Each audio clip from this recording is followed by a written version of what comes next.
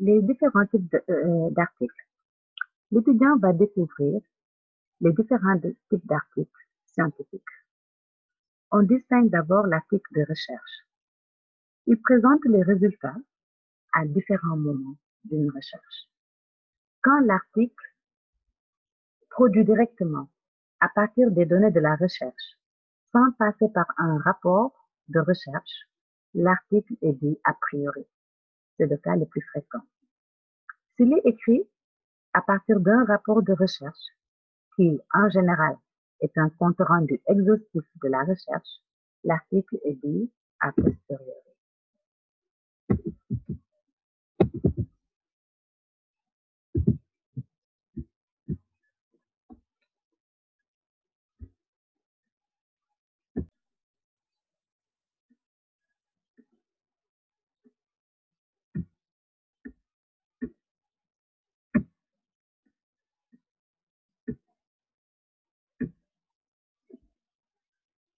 Les points suivants constituent le texte.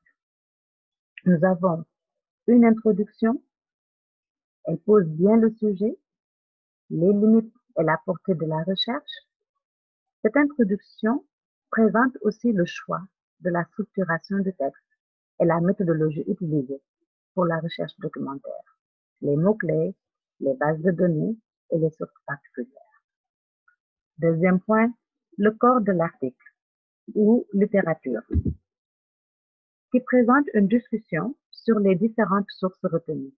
Dans cette partie, les informations sont organisées et regroupées en fonction de l'évolution dans le temps, suivant les points de vue et les écoles, ou bien en fonction des différents aspects du sujet.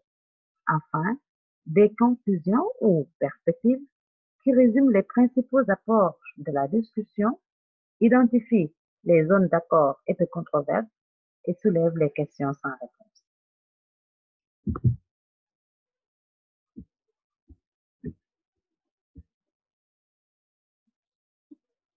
L'introduction. Nous allons nous pencher cette fois sur l'introduction. Il s'agit de faire comprendre à l'étudiant les différentes parties de l'introduction d'un article scientifique.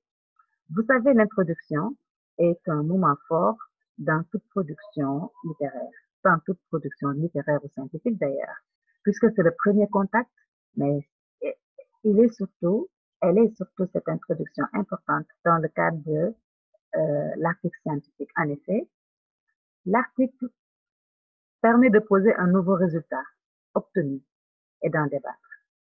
L'introduction pose le message ou l'hypothèse de recherche en réponse à un problème à résoudre dans un contexte. Ensuite, il justifie ou replace cette hypothèse dans une vision plus globale de la recherche. Enfin, analyse de façon cohérente et logique la bibliographie.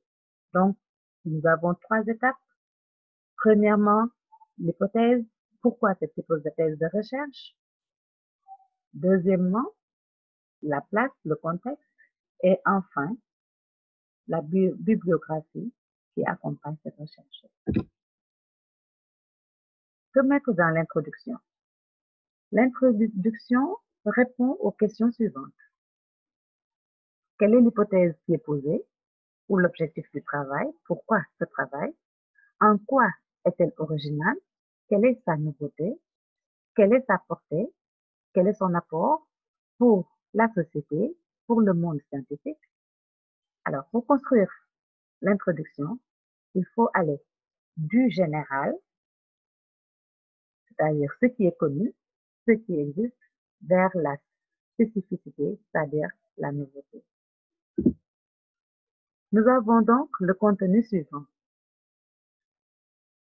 Le résumé, les mots-clés, l'introduction, le cadre théorique et ou hypothèse, la méthodologie utilisée pour la recherche, les résultats des recherches, la discussion de ces résultats-là et enfin la conclusion. Comment traiter les citations dans le cadre de l'article scientifique? Comme pour, tout, comme pour tout texte, Les phrases tirées de la réflexion d'autrui sont encadrées par des guillemets. Ces citations doivent être courtes. Quelques lignes, limite imposée par la législation sur le droit d'auteur. Elles proviennent de documents que vous avez en main. À ce moment, on parle de citation de première main. Quand vous reprenez la citation dans un document, il s'agit de seconde main. Il faut les utiliser avec prudence et ces citations ne sont pas à comptabiliser dans votre bibliographie. Elles sont reprises en note de bas de page. Deuxième article scientifique, c'est l'article de synthèse.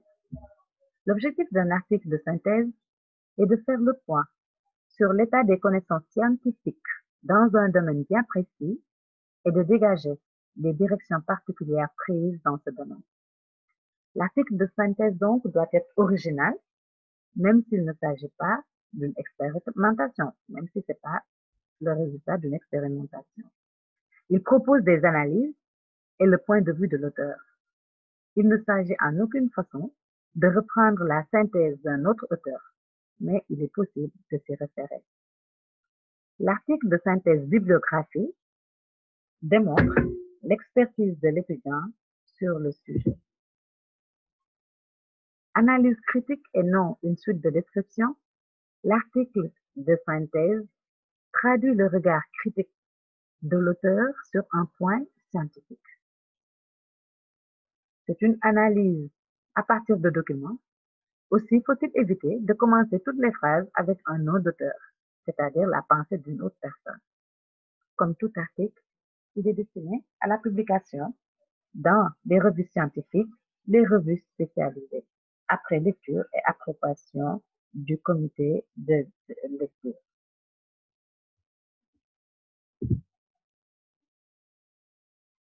Comment procéder? La première étape consiste à une documentation rigoureuse.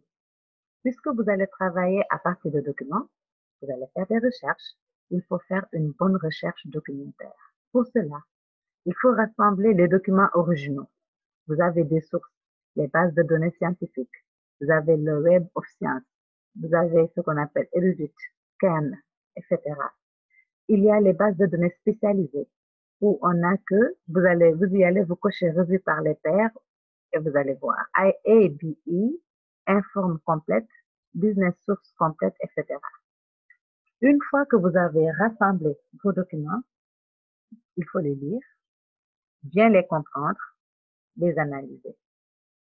Deuxième étape, vous allez trier et organiser l'information. La peau de l'auteur doit être clairement identifiable. Les illustrations, que ce soit les figures ou les tableaux, quand elles ont une valeur argumentaire, c'est-à-dire quand elles complètent euh, le discours, ils sont à, euh, ils sont à réutiliser ou à utiliser. Nous avons donc comme présentation du, de l'article de synthèse les points suivants. D'abord le titre, le résumé. Cependant, le plan d'un article doit toujours répondre au moins ce qu'on appelle le moyen mnémotechnique IMRAD. I, introduction. M, matériel et méthode. R, résultat. A, end. D, discussion.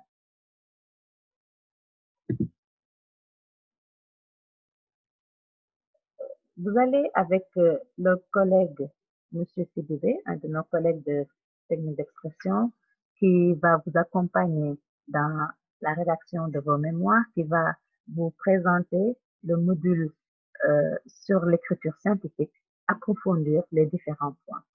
Maintenant, nous allons nous pratiquer parce que c'est juste l'article que nous voulions identifier qui est beaucoup plus court. Vous l'avez vu dans sa composition, qui va s'organiser autour du travail scientifique que vous avez eu à produire. C'est en quelque sorte un reflet et une synthèse d'un travail que vous avez déjà publié. Alors, la mise en situation, vous allez lire les articles suivants que nous vous proposons, qui ont été euh, publiés par des professionnels sénégalais africain en général. Alors, à partir d'une fiche d'identification que vous aurez créée vous-même sur les différentes parties d'un article, identifiez. D'abord, la composition de l'article, comment elle est composée. Est-ce que les normes que nous avons vues sont respectées? Quels sont les objets d'étude de ces articles-là? Est-ce qu'ils sont clairs, euh, identifiables à première vue ou que pensez-vous de la bibliographie présentée? Alors, pour la création de la fiche d'identification, c'est très simple. Vous allez reprendre les rubriques énumérées pour la composition, pour l'identification euh, d'un article. Deuxième étape, maintenant vous allez produire un article. Vous allez réfléchir sur un thème sur lequel vous voudrez écrire. En visitant les sites proposés ou d'autres, cherchez des documents originaux et en traiter le sujet. À la bibliothèque physique ou virtuelle de l'université euh, Alun de Bombay, cherchez et classez les productions sur le thème que vous avez choisi. Trouvez un titre pertinent. Proposez une bibliographie. Je vous remercie.